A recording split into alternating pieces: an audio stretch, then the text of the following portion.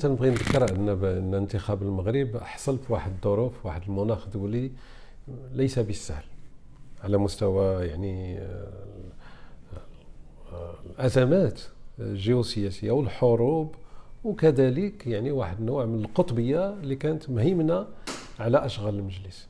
اذا الرئاسة المغربية دخلت في هذا المناخ وكان الحرص ديالها الأساسي وهو يعني تخفيف من التداعيات ديال كل هاد يعني الأزمات في على أشغال المجلس. هذا كان هي يعني المسؤولية الأولى ديال الرئاسة المغربية.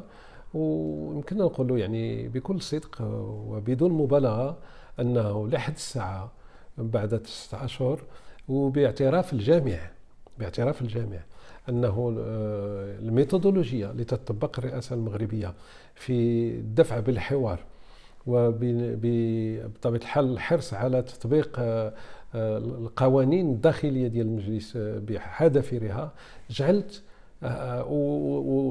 يعني وكذلك الموقف المحايد التام ديال الرئاسة المغربية جعلها تكون يعني مصب الاحترام ومصب التقدير في آه، يعني قيادة الأشغال المجلس. هذا كان إلى بغينا نقولوا بالنسبة للحصيلة عنوان أساسي. بالنسبة كذلك القضايا آه، اللي تقدم بها المغرب كعنوان ديال الترشيح ديالو آه، بمعناه أولويات اللي طرح المغرب من وجهة نظره اللي يجب على المجلس أن يتطرق إليها في العمق فكذلك هناك حصيلة لحد الساعة يعني بكل صراحة محترمة إن لم نقل يعني ذات الجدوى والفعالية الأساسية. نحن كمغرب لنا تجربة طويلة وعميقة ومعترف بها دوليا في مجال حقوق الإنسان. ولكن نحن كذلك كمغرب ننتمي إلى دول الجنوب بمعنى أن قضايا التنمية قضايا أساسية بالنسبة لبلدنا. قضية التنمية للتجاوب مع حاجيات الساكنة في المغرب وجل المعمر. لما نتكلم عن حقوق الإنسان هناك بطبيعة الحال حقوق اللي هي تعتبر أساسية السياسية والمدنية وهذا يعني معترف به بطبيعة الحال. ولكن هناك آه، إشكاليات أخرى فيما يتعلق ب يعني آه، آه، الالتقاء أو تنمية تلك الحقوق واحترامها. وهنا كدولة سائرة في طريق النمو المغرب يحرص على الحقوق الاقتصادية والاجتماعية والثقافية. مسألة يعني من من ذات الأولويات.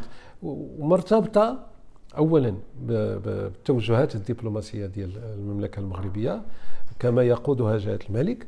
ومعروف أن جلالة الملك على المستوى الوطني وعلى المستوى الدولي يعني في كل التحركات ديالو يلح دائما على مسألة التنمية كمسألة أساسية والتجاوب مع حاجة الساكنة.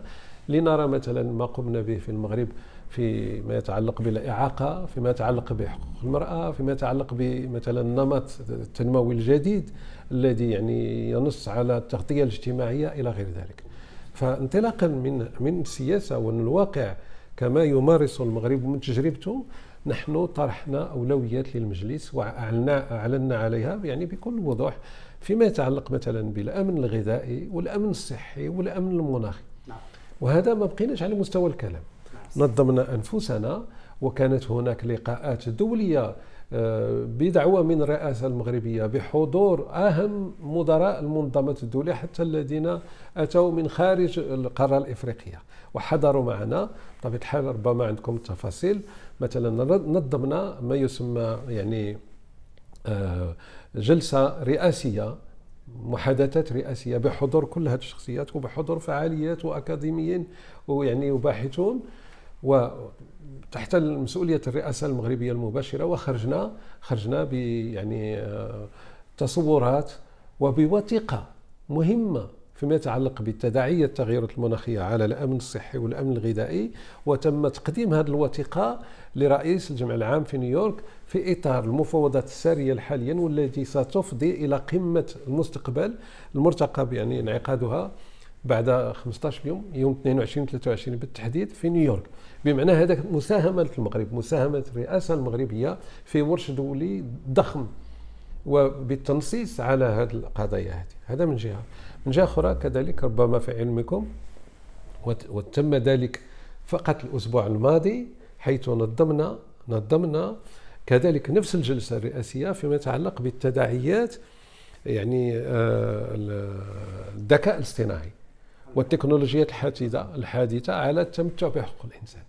وهنا انطلاقا من مصالح دول الجنوب وانطلاقا من من مصالح الدول التي يعني لها تعطي أولوية لأجندة التنميه آه، طرحنا في في النقاش قضية الهوه الهوه الرقمية قضية الولوج إلى التكنولوجيات الحديثة في في قطاعات يعني أساسية بالنسبة للحياة اليومية بمعنى حقوق الإنسان كالصحه هل يمكن اليوم الولوج إلى الطب بدون بدون آه، تشخيص الراديولوجي مثلا الذي يتطلب تكنولوجيات حديثة إلى آخره. هذو أشياء. وكذلك في نفس بنفس آه، المنهجية آه، جلبنا تقرير من كل هذه النقاشات ومسبقا عن طريق كذلك السفراء الذين عينوا من طرف الرئاسة المغربية ويشتغلون تحت امرتها فقدمنا تقارير مجددا لتلك المسلسل الذي هو يجري الآن في نيويورك. هذا كله يجعل أن الحصيلة آه، الملموسة أنا أتكلم عن امور يعني هي ملموسة. الحصيلة الآن يعني في يعني محترمة يمكن نقول حتى أكثر وسترون إن شاء الله بعد أسبوعين. آه، لأول مرة تحت الرئاسة المغربية سيوضع آه، ستوضع هيئة استشارية فيما يتعلق بمقاربة النوع ما بين الرجل والمرأة حتى ندقق الأمور. وهذه الهيئة الاستشارية كونت من طرف الرئاسة المغربية وستبقى مستدامة.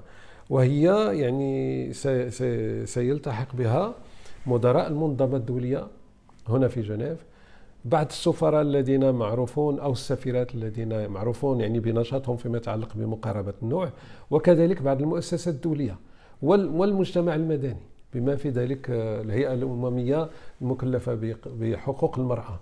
وهذه الهيئة ستكون لها من المسؤوليات الأساسية يعني ضمان التوازن آه، والمساواة ما بين الرجل والمرأة في في آه، كل المسؤوليات وفي الحقوق وممارسة المسؤوليات داخل هرم المنظمات الدولية. وهذا له رمزية كبيرة جدا بالنسبة للمجلس كي يقوم بدوره وهذه هي كذلك من النتائج الملموسة كالحاصلة للرئاسة المغربية. زيد على ذلك أن هناك مسلسلات أخرى يعني قائمة ذات وتشتغل وستبقى تشتغل إلى غاية ونهاية ولاية آه، آه، المغرب في أواخر شهر دجنبر شهر 12 المقبل تتعلق بإصلاح المجلس تتعلق بفعالية وعقلنة.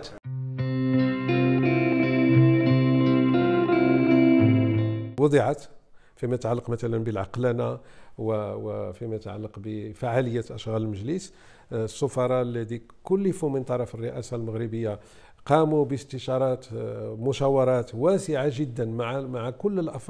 يعني لن أدخل في التفاصيل ولكن أنا كرئيس أحرص كذلك أن أساهم في هذه المسلسلات شخصيا مع الزملاء نتاعي ولحد الساعة هناك يعني تقدم واحد التصور على من ما هي مثلا الإجراءات التي يجب تبنيها من أجل التخفيف من كثافة الأشغال من أجل التخفيف من خلط الأشغال من أجل أن يكون المجلس يركز كما ينبغي لأن هناك نوع من إلى بغينا نقولوا من المزايدات.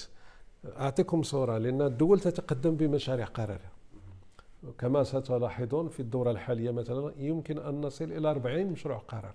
ما معنى مشروع قرار؟ مشروع قرار يعني خلق آلية أو طلب بتقديم تقارير أو أو متابعة نقطة هنا وهناك فتجعل أنه كثافة الأشغال ووزن الضخم الكبير لمسؤولية المجلس أصبح يعيق عمل المجلس. والرئاسة المغربية من أولويتها ونحن نطبق ذلك وسنرى إن شاء الله النتائج في الأسابيع المقبلة أن أن تكون هناك مقترحات مدققة ويوافق عليها. نتمنى ذلك الجميع أن تكون تركيز وأن يكون عدم الخلط وأن تكون يعني توجهات المجلس تتجاوب مع إمكانياته أولا إمكانيته. نحن نمر من أزمة مالية خانقة في إطار الأمم المتحدة. ربما أنتم باطلاع على ذلك. هذه سياق يعني في إطار احترام بطبيعه الحال الالتزامات للدول ولا كل نعم نعم نعم. بالنسبة للتحرشات نعم. لأول مرة لأول مرة في تاريخ المجلس. يعني والآن هي قائمة الذات لأن تم تم نشرها عبر يعني شبكات إلى آخره. فيعني لأنه هناك سوابق يعني سلبية مع الأسف ولكن الأمور تتغير وتتحسن. وكانت هناك المبدأ هو أن يتم بطبيعة الحال منع أي نوع من التحرش وأن تتم المتابعة وأن يكون يعني هناك أخذ إجراءات صارمة. إذا ما كانت هناك تلك التحرشات في اتجاه الذين سيقومون بها أو هم مسؤولون عليها. فالآن هذا البروتوكول ينظم الأمور أحسن بمعنى يسهل على إذا ما كانت هناك ضحية ما يسهل عليها الولوج إلى إلى الميكانيزمات المختصة كي يتخذ القرار المناسب وكي تكون هناك الكل يكون على بينة أنه المجلس صافي من أي نوع من التحرش وعلى وجه الخصوص التحرش ضد النساء.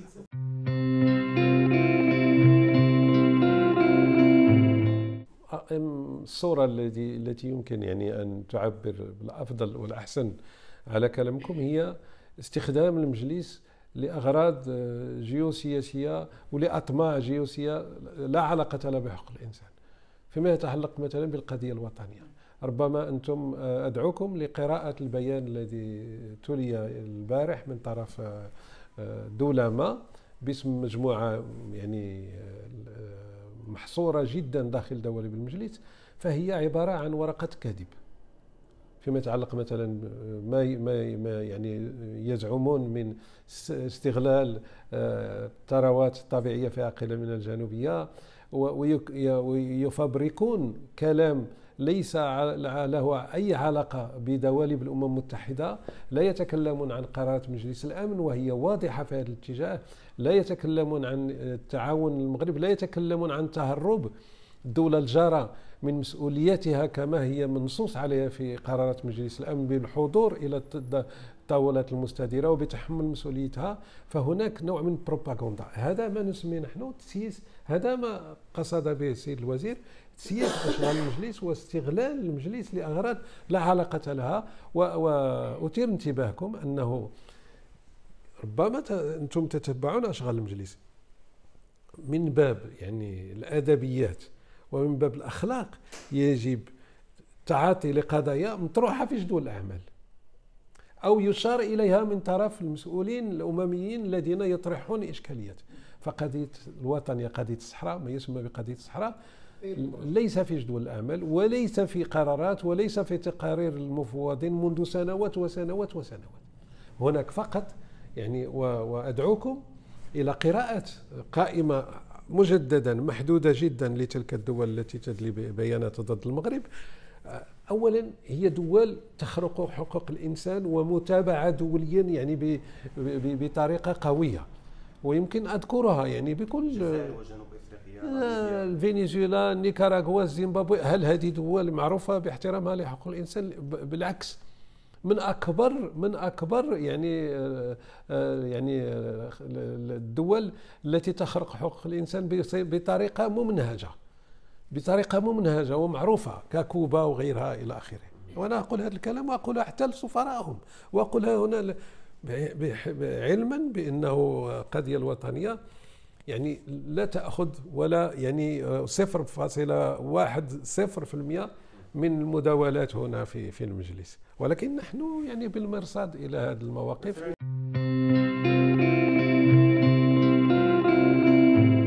ذلك وفدين أو ثلاث وفود تم تغليطهم وأرسلوا مندوبون ولما دخلوا للقاعة كانوا ينتظرون أن النقاش يمر حول القضية الفلسطينية فإذا به كان فيه هذه الإشارات يعني. وخرجوا بكل صراحة ممتعضون من هذا وكلمونا كلموا يعني بما في ذلك الوفد الفلسطيني بما في ذلك السفير فلسطين بحد ذاته قدم الاعتذار.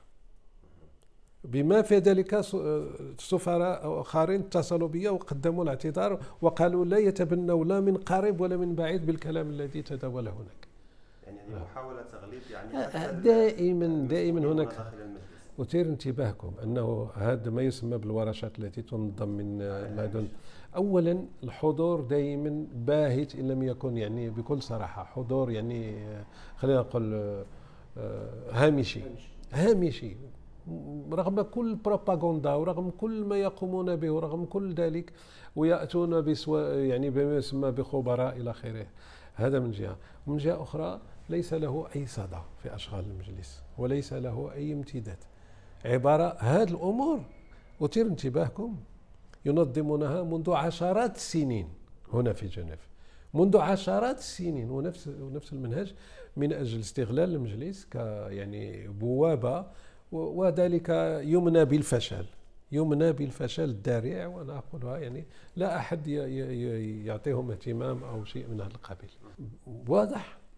أدعوكم ل يعني تفحص البيان الذي أدلى به البارح سفير ال République آه، الجمهورية الدومينيكان بيان آه، ادلي باسم 38 دولة.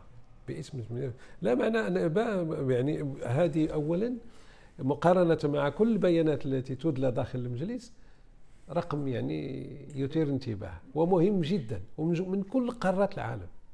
علما بأن الدول التي تساند موقف المغرب بطبيعة الحال تتجاوز هذا الرقم بكثير ولكن نحن نحن هنا في إطار لا علاقة له بالتدبير في القضية الوطنية. نحن دائما نقول القضية الوطنية مطروحة على مستوى مجلس الأمن ومجلس الأمن عنده مسلسل سياسي يجب احترامه ومجلس الأمن قال كلمته في ما يتعلق بالمبادرة يعني المغربية في الحكم الذاتي والمغرب والمجلس الأمن قال كلمته فيما يتعلق بإحصاء اللاجئين في أو الساكنة المحصورة في معسكرات تندوف ومجلس الأمن اعترف آه، فيما يتعلق بجانب الحقوق الإنسان بأن هناك آليات داخل الوطن تقوم بواجبها في هذا الاتجاه. أكثر من ذلك يعني الذين أشرتم إليهم وينظمون تلك الورشات إلى آخره. إذا ما تم افتحاص بعض الأشخاص الذين يكون هناك حاضرون هناك يأتون من الأقاليم الجنوبية بجوازة سفر مغربية. ما معنى ذلك؟ بأن إحنا يعني في وضع ثقة كاملة في أنفسنا وثانيا نعتبر تلك الانفصاليين يعني آه، كمشة مهمشة لا صيت لها لا داخل الوطن ولا حتى هنا. ومعروف من هو يحركهم من وراء ومعروف من يمولهم ومعروف أن كلامهم فقد كل مصداقية. اعتبارا أنهم كل الكلام أو أو القذف الذين يعني يحاولون توجيهه إلى المغرب فارغ المحتوى، المغرب دولة يعني تقدمت بكثير في بناء مؤسسات حقوق الإنسان. المغرب دولة يعني مثالية في هذا الميدان، مثالية. أدعوكم وأنا أتكلم معكم يعني, يعني بطريقة يعني كمهنيين في في في الإخبار وفي الصحافة وفي التدقيق آه، المفوض السامي في كل التقارير الذي يقدم للمجلس يذكر 50 60 70 دولة في العالم. يعني أنا أمارس مهنتي هنا كرئيس هذه البعثة منذ سنوات وسنوات ولا تم ذكر المغرب مرة واحدة. ولا تم ذكر المغرب مرة واحدة فيما يتعلق بسياسته في حقوق الإنسان. وقضايا الهجرة كما تدبر من طرف المغرب قضايا اللجوء كما تدبر من طرف المغرب مقارنة مع الجار. الذي يطرد بطريقة غير إنسانية. عشرات الآلاف من اللاجئين في اتجاه يعني آه، الصحراء القاحلة في في ظروف غير إنسانية. ويأتون هنا لقذف المغرب فيما يتعلق بقضية حقوق الإنسان. نحن لا نقبل ذلك. لا نقبل ذلك اطلاقا والأمور معروفة ومضبوطة والمنظمات الدولية ذات الصله الأمور عندها موثقة كما ينبغي.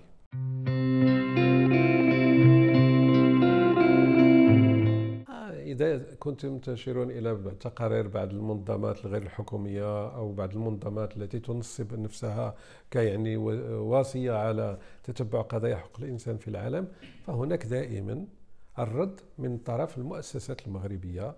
يعني دائما نرى مثلا ما يقدم من طرف المفوضية السامية لحقوق الإنسان أو حتى من طرف المتتبعين على قضايا حقوق الإنسان في المغرب. هناك كذلك هنا مغالطات وهناك يعني جهل حقيقي جهل حقيقي لأنهم ربما يعني يأخذون أخبار مفبركة إلى آخره ويدمجونها في تلك التقارير. أما الحقيقة الواقع أدعوكم إلى آه، قراءة تقارير مثلا آه، الإجراءات الخاصة التي زارت المغرب. زارت المغرب بكل بكل يعني نحن استقبلنا أكثر من 12 اجراء خاص. والمغرب يتفاعل مع كل اللجان التي يعني تتابع تطبيق اتفاقيات الدوليه في في ميدان حقوق الإنسان. هذا هو لا بغينا الميزان هذا هو الميزان. أما واحد ينصب نفسه ولا منظمه تنصب نفسها وتقول بأن المغرب فيما يتعلق بحريه الصحافة وعنده واحد المستوى معين إلى آخره إلى آخره فأنا يعني الواقع شيء آخر. ربما بطبيعة ما كاينش هناك دولة في العالم سليمة 100% فيما يتعلق باحترام حقوق الإنسان. دائما هناك بطبيعة الحال هناك لأن هذا داخل في إطار طبيعة الحياة اليومية وفي طبيعة الحياة المؤسساتية إلى آخره. ولكن المغرب بلد منفتح والمغرب يعني معروف أنه تقدم بكثير في كل هذه الجبهات في حرية التعبير أو في حرية بطبيعة الحال السياسية في قضايا يعني الصحافة والصحافة منظمة عندنا كما ينبغي وهناك يعني آه، توجهات لقصد لقصد المغرب بقضايا لا علاقة لها في الواقع بحرية الصحافة. وأنتم تعرفون ما أريد أن أعبر عبر ذلك. هناك قضايا ربما كانت في القضاء المغربي طرحت ونقشت وقال القضاء كلمته فيها وأنا ليس لي يعني أي تدخل في هذا الميدان وإذا ما كانت هذه التقارير تبنى على ذلك كما تفضلتم ويقذف المغرب من من يعني من عبرها فنحن نرفض ذلك. نعم. اولا بعد أنا منذ يعني جلوسي في كرسي الرئاسة من من اليوم الأول يعني حرصت ان نستقبل ممثلين تلك الدول. ماشي مرة ماشي جوج. وحتى هذه الدورة سأستقبلهم دائما. أستقبلهم للنقاش معهم والحديث معهم والإنصات إليهم. متطلباتهم هذا. لماذا هذا هذا الحرص؟ لأن هذه دول كما أشرت إليه من قبل يعني أخطبوط أشغال المجلس شيء استثنائي. مثلا غير في إطار هذا الشيء سيتم آه، تداول وتدارس 80 تقرير. 80 تقرير في خمسة, في خمسة زيد على ذلك نقاشات أخرى زيد على ذلك تبني القرارات إلى آخره إلى آخره هذه دول ليست لها آه، الزخم الضروري والقدرات الإنسانية الضرورية وحتى الوقت الكافي لتتبع كل هذا هذا يعني الوزن الثقيل لأشغال المجلس. فإذا لها خصوصيتها. ورئيس مجلس حقوق الإنسان بالمناسبة هو المنسق فيما يتعلق بإدماج المجتمع المدني في الأشغال وكذلك إجماع تلك الدول. ف فالرئاسة المغربية تحرص على أن يكون هناك لهم أولا الحضور وتكون وتمد لهم كل الإمكانيات اللوجستيكية اللوجستيكية لتتبع أشغال المجلس. آه، عن بعد أو آه، نلح على ضرورة التكوين لأنه ليس بالسهل التعاطي مع تقارير يعني جد لها تقنية عالية ولها يعني امتدادات قانونية مشعب يعني صعبة إلى آخره. فهذه الدول يعني الحضور ديالهم هنا مهم جدا وكذلك أن يعبروا عن مواقفهم في كل القضايا التي نتكلم عليها. هذه الدول مثلا وأشير فقط لهذا الجانب هذا. إذا ما فحصتم هم الذين يتضررون أكثر من تداعيات التغيرات المناخية. هناك دول مهددة بالانقراض بانقراض نهائيا منهم الدول الصغيرة إلى آخره. فإذا صوتهم هنا من من الأولويات الأساسية. حتى يدافعون على على مواقفهم وحتى يواكبون أشغال المجلس وحتى يسمع صوتهم. لأن نحن عندنا مبدأ في الأمم المتحدة هو مبدأ المساواة. هناك دول كبيرة هناك دول صغيرة ولكن لما يأتي وقت الصوت له بطبيعة الحال بطبيعة الحال. وزيد على ذلك الرئاسة المغربية كذلك آه، يعني في في سياق الأولويات. لما نتكلم عن التغيرات المناخية عن الأمن الغذائي والأمن الصحي وكل ذلك تتجاوب مع حاجية هذه الدول ومع أولويتها. بصفة يعني آه، لذلك كرئيس دائما ألح في افتتاح الأشغال أن أرحب بهم. هناك صناديق مخصصة لتمويل أنشطتهم كذلك وهذا من المبادرات المستحسنة. وهناك كذلك إجراءات أخرى إجراءات أخرى تتعلق بهم مثلا الاستعراض الدوري الشامل. هذا واحد الاستعراض مهم جدا يعني في كل دولة تأتي بتقاريرها إلى آخره وتم ويتم تشجيعهم في في الحضور وفي لأنه آه، هناك مبدأ آه، اليوم معروف في آه، لو بغينا نقولوا أدبيات الأمم المتحدة هو عدم التخلي عن أي أحد. No one behind. No one behind. هذا هو الكلمة يعني المصطلح. عدم التخلي عن أي أحد بمعنى تلك الدول لها منصبها ولها دورها الكامل داخل المجلس. وما تنسوش تابوناو معنا في لاشين وتتابعونا على مواقع التواصل الاجتماعي.